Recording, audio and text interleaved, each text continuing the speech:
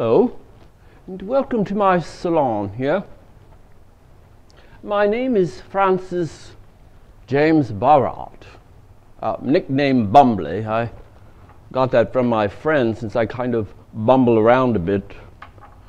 Uh, well, I was born at 96 Gloucester Place, London, on the 16th of June in 1856. I, commenced study of art at the age of 18, going to Heatherley's School of Art, and then to the Royal Academy School, where I received the silver medal for drawing from life. After attending the academy at Antwerp, eventually I returned here to England, going to Liverpool and then to London, where I worked continually until my illness. I was a frequent exhibitor at the Royal Academy as well as the Institute of Painters in oil colors and other important exhibitions. It was written. Let me see if I can find it. It was written, yes, there it is.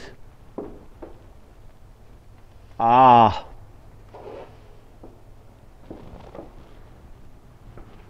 Yes. Oh. Wrong side. Huh. Here we are. Yes. It was written that his paintings displayed great accuracy of detail, as well as thorough knowledge of color values, and were delightful in their charm and simplicity. One of my earlier works, An Encore Too Many, was published by the Liverpool Corporation and was displayed in the Walker Gallery. Let me show you my painting over here.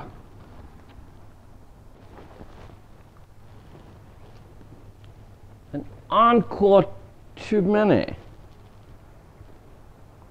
It's one of my favorite pieces, you see.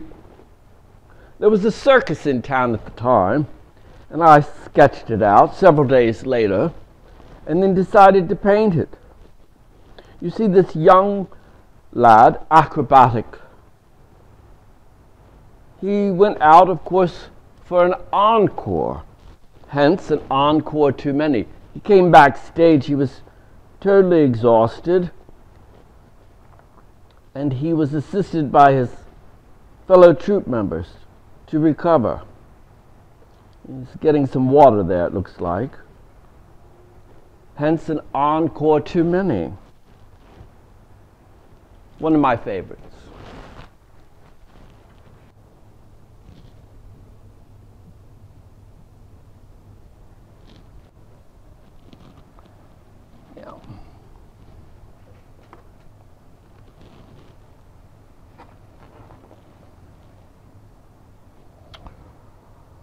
It was, however, by the painting of his master's voice that I achieved worldwide fame.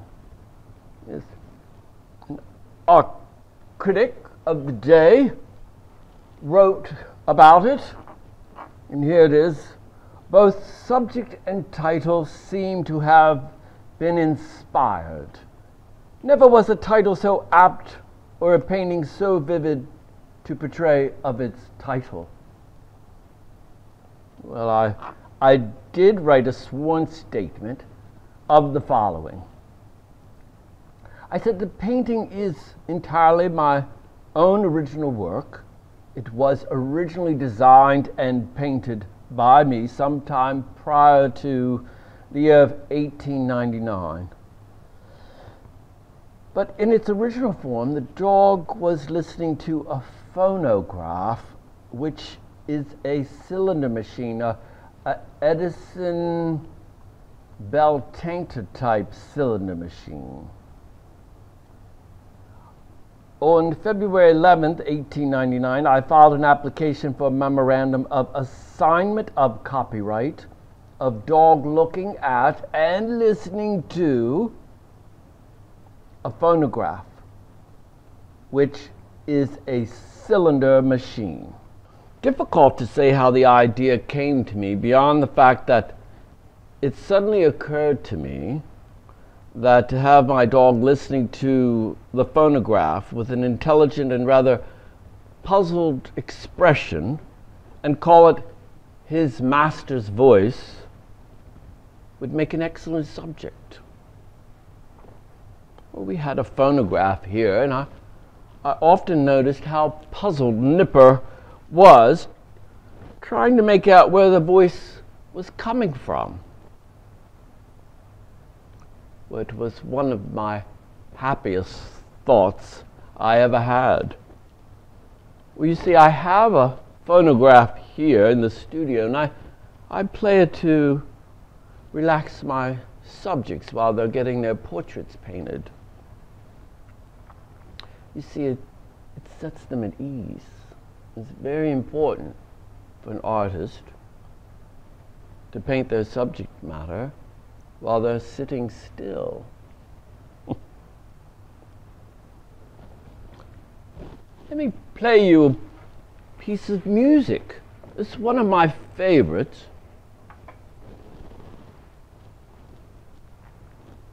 It's of Enrico Caruso, O Sole Mio, or My Sunshine.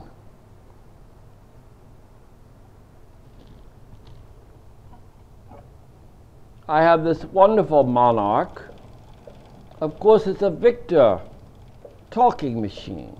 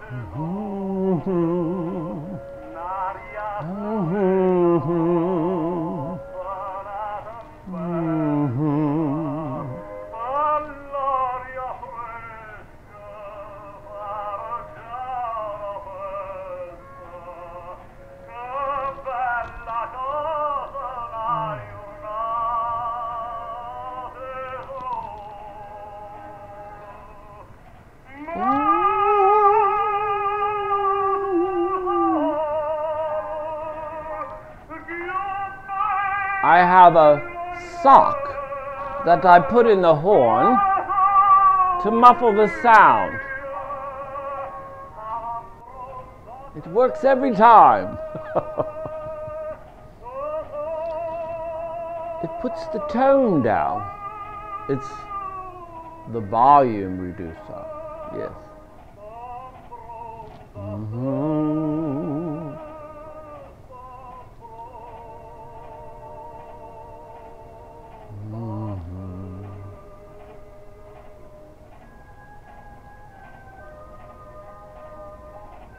Such music to the ears.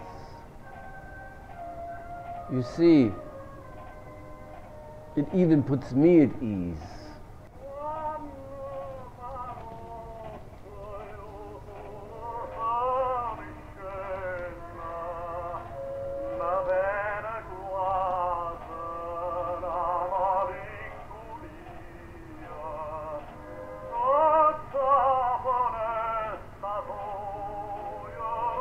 Mm-hmm.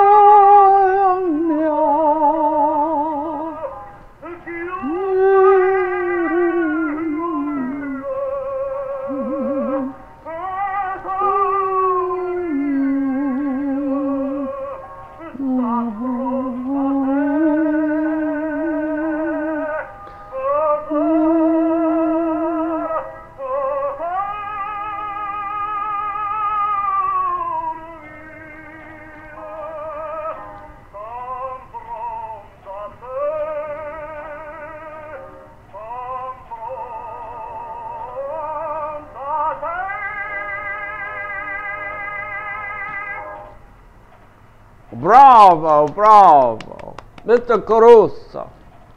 He gives me so much pleasure.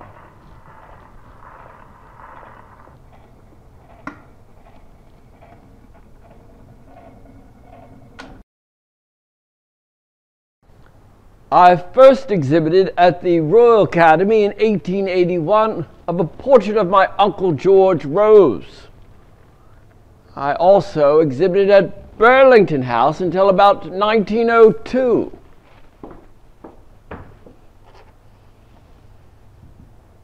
Ah.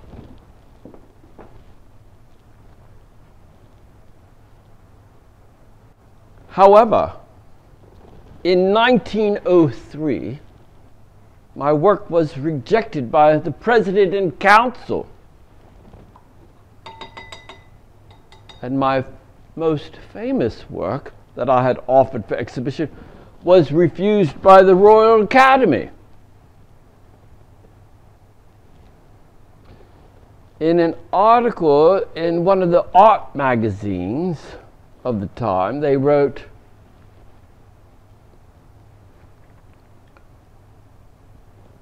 I called it his master's voice and showed it to several publishers as I, I thought there would be a demand for it in reproduction. These gentlemen, however, were not of the same opinion. Well, one well known man objected on the score that no one would know what the dog was doing. A Mr. Edison. Another on the score that no one would know what the dog was doing. However, he offered me five pounds for it, but I was not tempted. Meanwhile, I was thinking of improvements. I was not satisfied with the trumpet I had painted. It was black and ugly. I wanted something more pictorial. One day, a friend of mine suggested I should call on the gramophone company and ask them to lend me a brass horn to paint. So, armed with a small photograph of my oil painting, I paid them a visit at their offices, which were then in Maiden Lane. To the gentleman there, I explained what I required and showed him the photograph. He asked me at once if he might show it to the manager, Mr. Barry Owen. I agreed. Mr. Owen shortly came out and asked me if the picture was for sale and whether I could introduce a machine of their make, a, a gramophone, instead of the one in the picture, you see. I replied that it was for sale and I could make the alterations if they would let me have an instrument to paint from. Well, I wrote them a letter after a week had passed, asking if they were still interested in the painting. Well, I waited and waited. Well, they finally wrote back after about two weeks. Well, the change was made, and the picture was bought from me. I was paid a hundred sterling pounds Yes, 50 pounds for the painting and 50 pounds for my artistic rights.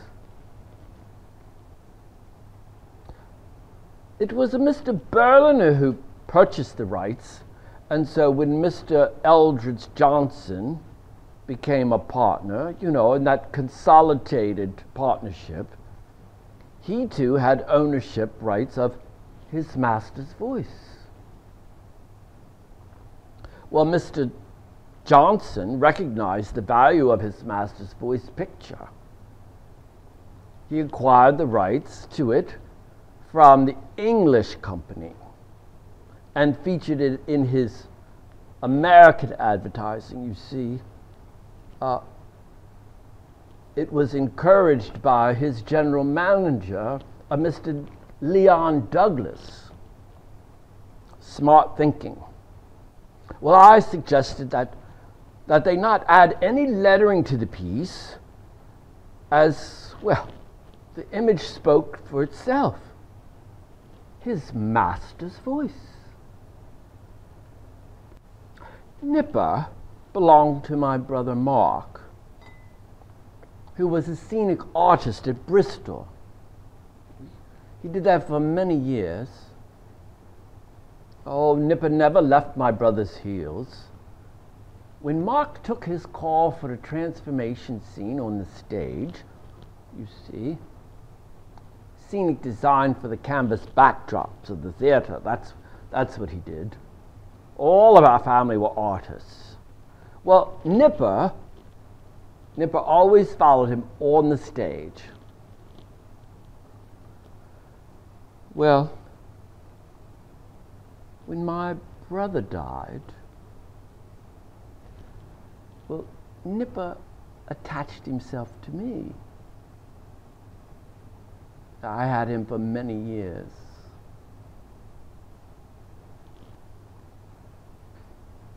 Well, he's now in dog heaven.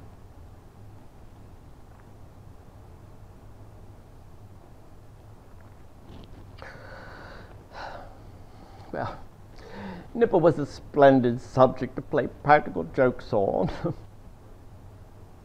I had cut out a cat image of cardboard and painted it black, you see. Oh, I would sit it in his dog bed. He always, he always rushed in thinking it was real.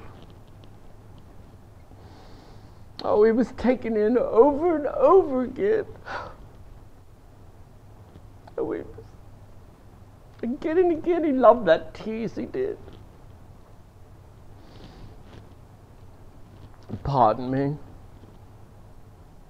Oh, Nipper.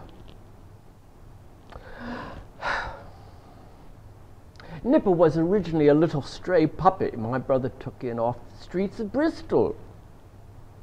Ah, one day on his way back from the theatre, he was raised in Liverpool. Liverpool, England. He was a mixed terrier. Nipper died in 1895 and was buried under a mulberry tree in Kingston upon Thames, England. And to think Nipper would become world famous. the managing director of the gramophone company told a friend of mine that it might interest me to know that out of their head offices and factories at Hayes in Middlesex, they have frequent fire drills, you know, practices. Should an actual fire take place, the firemen have instructions. They have instructions. Oh, do they have instructions? that the first thing to be saved is guess what? That's right, the original picture of his master's voice, which hangs in the boardroom. He also stated that the first to the last, over a million pounds have been spent in reproducing it.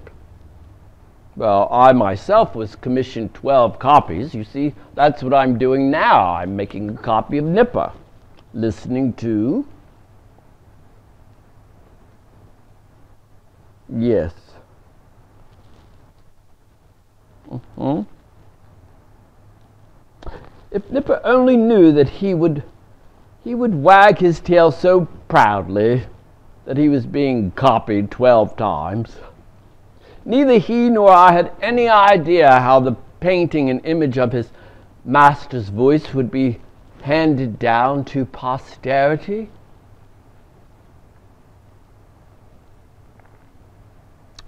Ah, beautiful. Well, I, I thank you for coming into my studio today. It's been quite a great pleasure talking about Nipper. Thank you.